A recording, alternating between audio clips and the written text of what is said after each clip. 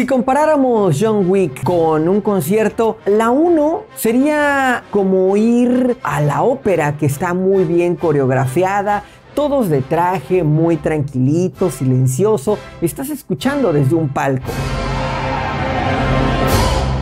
La número 2 sería como ir a un salón lounge lleno de música electrónica, pero bastante suave, chill step y cosas así por el estilo.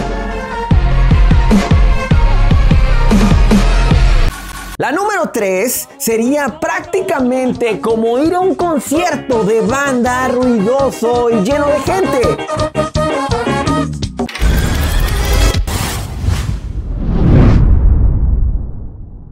Cyber Souls y cinéfilos, gamers de todo el mundo. Muchísimas gracias por estar en este nuevo review de cine. Mi nombre es Nes y vaya, por fin tenemos la tan esperadísima parte de John Wick 2, ahora la 3 con Parabellum. Y vaya que esta es una película que fue creciendo exponencialmente con cada entrega. La primera era pues una película que posiblemente pudo haber quedado ahí en el tintero como una más de acción, como las de Ethan Hawke o tal vez un poco mejor, ¿no? Como las de Liam Neeson, pero fue escalando peldaños justamente con lo que creó en el inicio, algo muy minimalista, muy interesante, pocas palabras, mucha, mucha acción y una trama bastante sencilla, pero interesante. La número 2 nos da todavía más acción, nos lo vuelve a nuestro héroe un cómic realmente un poquito más invencible y todo esto, pero todavía podríamos ver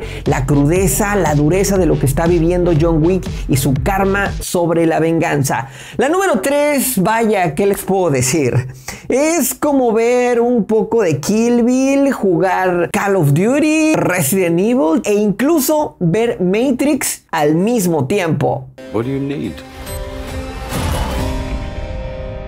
Guns.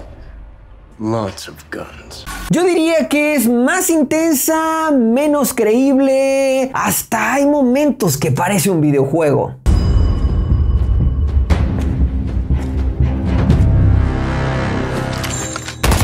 Las cosas que tenemos que destacar sin duda es el elenco. Tenemos por ahí al señor Lawrence Fishburne, que vaya, es un honor verlo de nuevo con Neo reunido. Estamos viendo a Morfeo y a Neo en la misma película. Esto aparece desde la 2. Eh, tenemos también a Haley Berry en el segundo acto de la película. Algo interesante en esta edición que ya viene como un soporte para John Wick, pero hubo varias cositas que no me gustaron. Ya se las tenemos también a Ian McShane, este señor que lo vemos en American Gods, que lo vimos también en Hellboy. A mí me ha gustado mucho sus actuaciones en las películas que últimamente lo, he visto. Y vaya que cuando a Hollywood le gusta un actor, lo pone en todas partes. Y ahorita Ian McShane está en el ojo del huracán. Finalmente, entre los más importantes tenemos a Angelica Houston, una mujer legendaria que tiene un papel ahí que se supone es muy pero muy fuerte, que casi no explican el trasfondo de lo que está sucediendo y que finalmente tiene que ver con la vida de John Wick. Cinematográficamente hablando, la cuestión de las coreografías sigue siendo muy buena. Ahí. la verdad es que me quito el sombrero, me encanta la fotografía, la luz todavía se utiliza muy bien, aunque siento que está un poco más descuidada en esta película. Y creo que en la 2 fue donde ya habían madurado esta parte. Ahora hay tantos elementos en pantalla, tantas cosas que están sucediendo, se acabó el minimalismo que había en la 1 y parte de la 2 y nos muestran demasiadas cosas que a veces, a veces siento que me saturan. Si hiciera una comparación de las tres películas, les podría decir que la primera me convencía por esa historia tan básica, tan simple, tan cruda, tan sencilla, pocas palabras por parte del señor Keanu Reeves, pero al mismo tiempo con diálogos épicos en los momentos importantes. Sentir que John Wick podía morir era algo muy pero muy interesante. Siempre tenía algún problema, siempre estaba atropellado o ya no podía caminar bien o algo le sucedía en esta película. Ahora, si nos vamos a la segunda película, podemos ver que le suben dos y media rayitas a la acción. Vemos un John Wick un poquito más de cómic, más indestructible. Vemos que le ponen un nuevo traje que ni siquiera le pasan balas. Y vaya, ya no es tan realista como la primera. Aún así, la buena coreografía, los aspectos minimalistas, la buena colorimetría que se usó en la película y también los pocos diálogos que tiene Keanu Reeves y que la mayoría los actúa hacen que esta película sea impresionante. De hecho, nos entredeja ver que John Wick tiene un grave problema karmático y que vive en una especie de pesadilla personal en la cual el ser está maldito porque a final de cuentas le pasa todo a sus seres queridos, pero él no muere. You haven't disappointed. La 3 no sé qué pasó. A pesar de que tiene y rescata los mismos elementos de la 1 y la 2, me parece que exagera en todos los sentidos.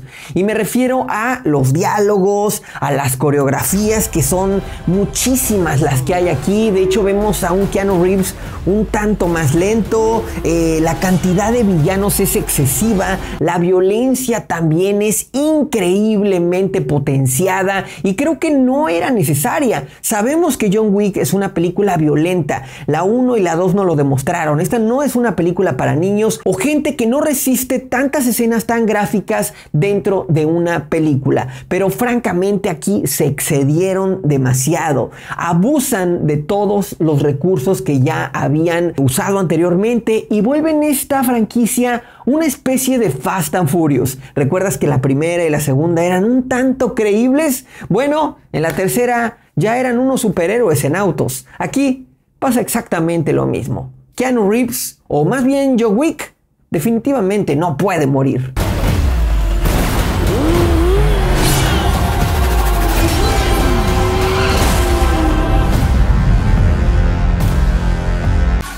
Cielos, no sé qué pasó con el guion aquí, los tres actos. El primero, ver a John Wick eh, luchar a caballo, la verdad es que en un momento me emocionó, pero ya que lo vi en vivo dije, no, no, no creo que esté pasando esto. Pero bueno, tienes que verlo. El segundo acto realmente lo veo completamente innecesario.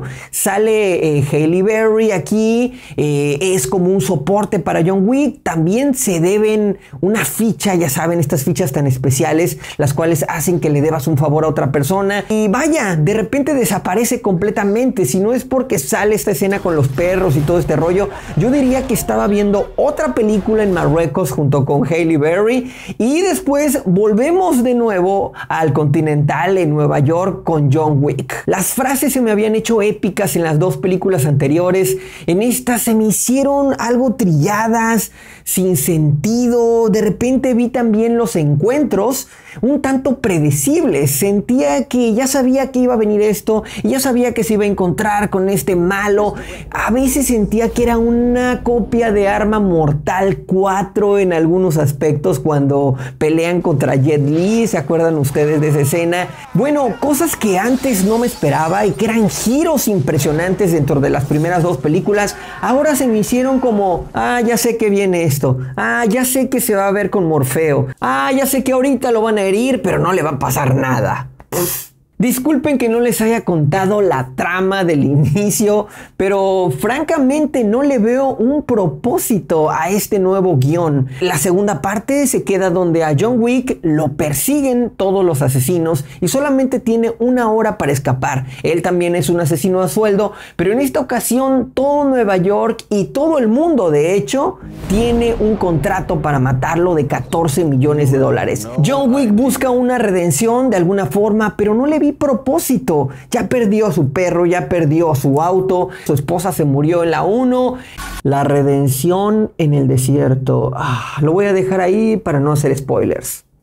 Pierde la mística el misterio, todo lo que rodeaba a John Wick, no sabías si realmente volvía a ser malo, si no lo era, si simplemente estaba cumpliendo esta consecución de karmas o qué era lo que pasaba y ahora resulta que tal vez incluso quiera regresar a lo mismo de antes. ¿Dónde quedó el humor negro, sarcástico, crudo, frío, calculador, enfocado del señor Baba Yaga, Boogeyman, el señor del costal?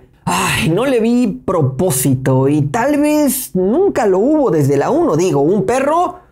Para mí se acabó el misterio, el misticismo oscuro de Wick. Sabes que siempre va a ganar y se pierde la incertidumbre de que si podría morir o no. Se acabó la estética y venga el pandemonium.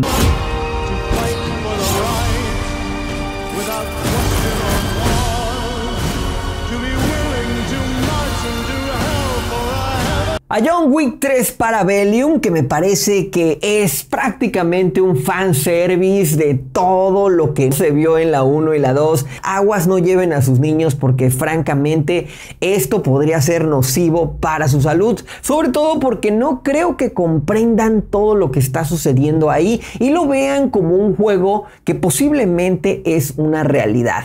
Le voy a poner nada más y nada menos que un 6.5. Creo que tuvo media hora de más, muchos elementos, a diferencia de cómo se hizo la primera película, que no tenía tanto presupuesto, y ahora que ya tienen el presupuesto, hacen una cosa masiva que pierde trama, pierde drama e incluso credibilidad. Pues esa es mi opinión, pero me encantaría saber en los comentarios qué te pareció esta tercera película de la saga, ya que amenaza con una cuarta. ¿Realmente viste lo de Marruecos totalmente fuera de lugar? Como si fuera otra película? Yo sí. Dímelo ahí en los comentarios y también dime cuál es tu película favorita de Hitmans, o sea, de asesinos a sueldo, de mercenarios y todo este rollo que son como One Men Army como esta, ¿no? Que un solo hombre contra todo el mundo. Pónmela allá abajo en los comentarios para que yo la pueda ver y posiblemente la pueda reseñar. Recuerda que si te gustó este video, por favor, compártelo con tus amigos, dale like, suscríbete allá abajo, ahí está la campanita también para que te lleguen los videos próximamente. Y recuerda que estoy haciendo gameplays de videojuegos en las noches, se pone bastante bueno. Ahí si te quieres unir también al canal está el botón de unir vas a tener beneficios especiales en el chat y obviamente te voy a reconocer en todos los en vivo. Únete a mis redes sociales, te las dejo ahí abajo en la descripción. Yo soy Nes y nos vemos en el próximo review. All of this for what? Because of a puppy? Wasn't just a puppy.